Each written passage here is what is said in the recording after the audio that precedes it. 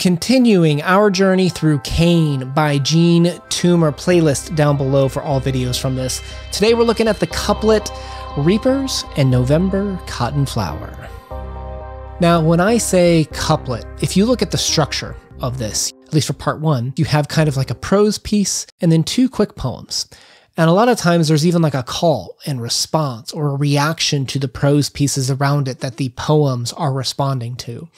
It's part of why this is argued to be a short story cycle or a novel, because there is a design, there is interconnectiveness that we could potentially pull together on themes and what Jean Toomer may have been attempting to convey to us. We start with 10 poems in part one, go down to five in part two, and then there's no direct poems in the last part because what's kind of happening is you start to see this narrative smashing together almost the identity of prose and poetry as you move into the second part and then it just becomes this dialectal kind of uh, lyrical play. So, in the same way that racial consciousness is explored through this novel and kind of even questioned a little bit with maybe him questioning his own identity, so too does the lyrical and writing style explore how it can move between this. It's a very brilliant modernist work, which brings me to a line about the structure of these two poems, right?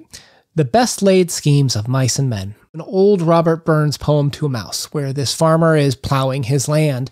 And basically, when he's plowing and ripping up the dirt, he destroys a mouse's home, right? And how does he react? Well, he chooses to show remorse, right?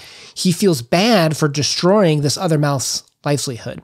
And it's this idea that the mouse can make the best plans possible in terms of the house, in terms of where he's going to live, in terms of the beautiful way he's going to design the tunnels underground just to have it swept and destroyed away by a more powerful, maybe even describing as oppressing force coming through and deciding they're going to farm. Farmer's not trying to be mean. He's not trying to be hurtful, but by sheer weight of the gravity of his decisions, his power in the structure here, he's able to just completely destroy the best laid plans of this mouse. And he chooses to show remorse about it in the Burns poem. So when we first turn to Reapers, Black reapers, with the sound of steel on stones, are sharpening scythes. I see them place the hones in their hip pocket as a thing that's done, and start their silent swinging one by one. Black horses drive a mower through the weeds, and there a field rat, startled, squealing, bleeds, his belly close to the ground. I see the blade, blood-stained, continue cutting weeds and shade. So, who is the narrator in this first piece? And even in the, the, when you look at the book across a whole, we have a first person narrator telling us the story, and he's witnessing, like he sees these farmers doing this, right? And Black Reapers, okay, is that a representation of death, right? Like we had death in the opening poem with Karintha, and we already see kind of how some of the themes are calling back and forth to each other. Where in Karintha, you saw that we had the the slave spirituals kind of injected into the middle of prose. Well, now we have these poems evoking some of the similar themes and such. You get to see some of the design of this masterpiece. So, are the Black Reapers death? No, they're just farmers that are working the land, right? In terms of a scythe, you know, you have like the the hip pocket um, whetstone typically that you'd pull out and you'd have to sharpen the scythe, clean it off, and then you keep working to clear the land away. The farmers are described as black reapers. What does black mean in this context? Is it a description of their disposition, their view on life? Is it their circumstance? Is it the pigmentation of their skin? Are these African American workers working in the field potentially? But regardless, in the second stanza, we see black horses, a second reference to black in terms of are the horses black? Are the horses representing death here? The difference is, is that they're pulling the plow in this situation. So it's kind of um in the Burns poem, you have a farmer who says he's directly responsible for destroying this mouse's home.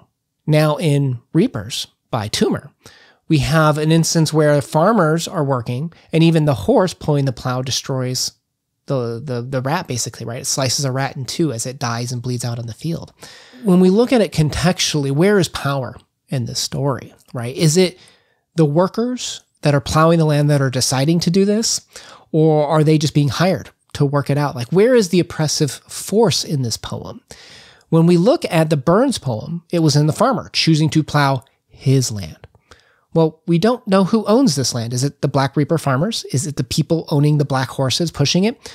Possibly it's another force out there that owns the decision behind this. And are the middlemen, the Black Reapers, the farmers, are they being oppressed into working? And is that why, you know, there's no remorse shown potentially, right? They're not responsible for the decision here. It's just the action of plowing causes harm to others. So we come back to that central idea again.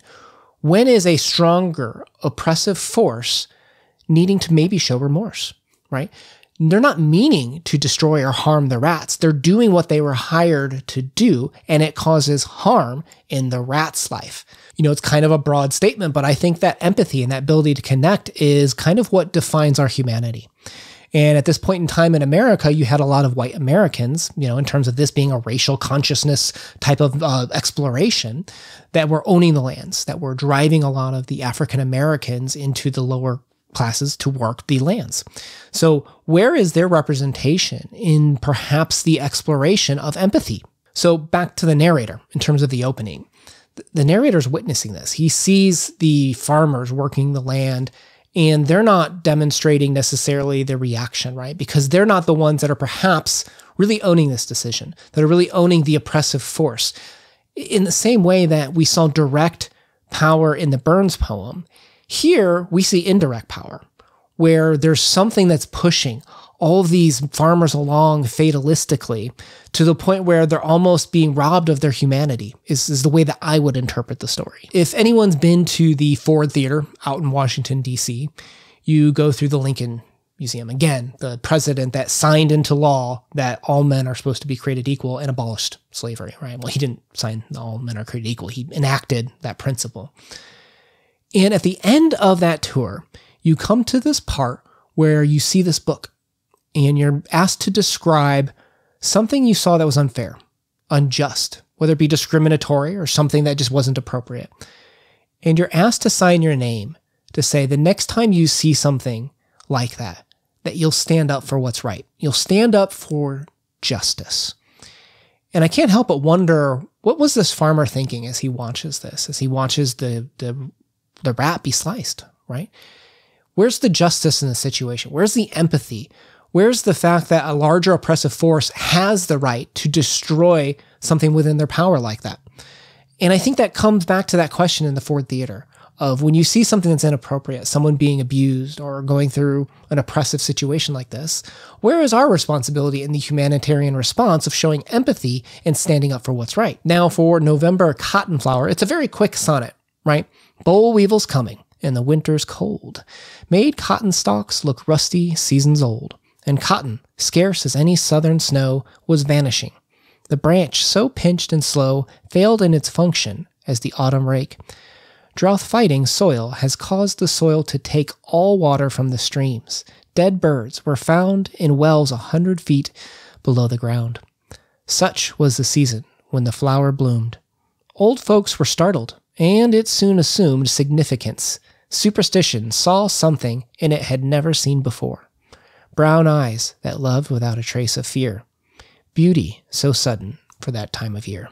So, opening Boll Weevil's coming. I love this opening line because it's a interesting part of America's past, right? You know, if this was at least published 1923, this is kind of um, well, the boll weevil's a bug, if you didn't know, that came along and destroys cotton crops, right? Like if you go to Mexican history, there's entire fields that were just left abandoned because the boll weevils just consumed it, destroying all property, destroying all gains that could have been coming out of that cotton. And it impacted America as it starts to migrate to America, right?